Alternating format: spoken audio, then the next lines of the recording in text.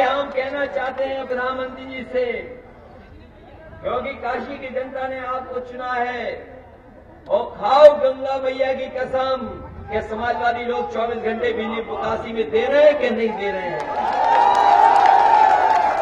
हम खाते हैं बोलो अगर हमें खाने का मौका मिले।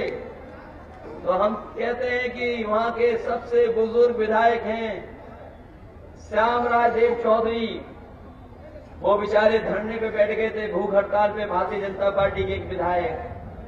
कई दिन बैठे रहे।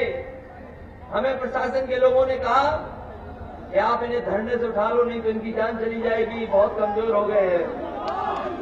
मैंने बुलवाया उन्हें लखनऊ। और मैंने पूछा कि तो बताओ तुम्हारी मांग क्या है? भारतीय जनता पार्टी के बड़े नेता आए थे मिलने उस समय।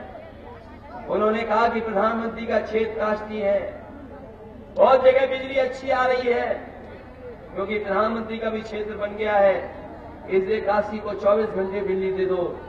मैंने कहा, दादा, श्याम रावदेव चौधरी, आप अगर बिजली मांगने आए हो तो हम बिजली देना चाहते हैं।